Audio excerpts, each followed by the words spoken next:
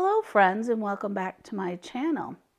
Uh, today I want to talk a little bit about um, relationships. So I think I've mentioned in the past that I am single, never been married, don't have any kids. Um, recently, last week, I was watching some stuff that happened uh, over on um, some social medias with some friends from high school. Someone was um, having a, a, a woman was having trouble with her boyfriend, I guess, and um, so there was some drama going on. And it sound it seemed like they were breaking up, and she had posted something about, you know, being alone or whatever. And what struck me is another one of my classmates had commented on her comment and basically had some really good advice I felt. So by the way, this this particular classmate was a male. He's also married, so I thought that was interesting.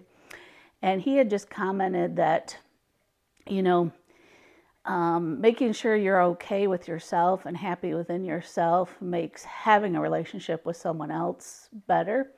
So he's bas- basically commenting you don't need to have someone else, and if you want to have someone else, you do need to be good with yourself and you know kind of get your stuff in line so that you can have someone in your life that the two of you can help each other versus you know hurting each other.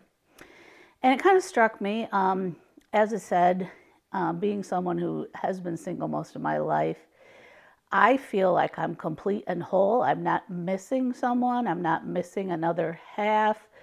I am happy as I am. And I think a lot of people don't understand that, why I can be happy um, this way, but I think that I am. And I think I'm one of those people that if I was with someone, I might not be happy. And so I think it's important to know that, you know, it's you don't have to be in a relationship to be a whole person. And so that is kind of my little lesson of the day. And I'm not saying there's anything wrong with being with someone or being married or having a relationship with someone else. I'm just saying that it's possible to be a whole person without a significant other. And that's all I'm going to say about that. All right, moving on to the giveaway today. So today, my mother actually dropped by my house um, about, I don't know, a week ago or so. And she said, I have a few journals or um, notepads I think you might want to give away on your channel. She bought them and decided she didn't want them for, wasn't going to use them for some reason. And I was like, yeah, bring them over. So this is the one, this is one of them that my mom brought over. And so this is a Denik. Um, I had just given away a Denik a couple weeks ago. Um, this is also a Denik, and it's also a lined notepad.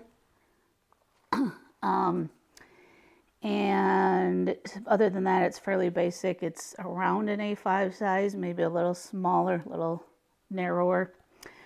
Um, Anyway, so this is the giveaway for this week. So if you're interested in winning this item, you're going to subscribe to the channel, you're going to like this video, and you're going to comment WMIY. Thanks for watching, everyone. Have a great day. See you all very soon.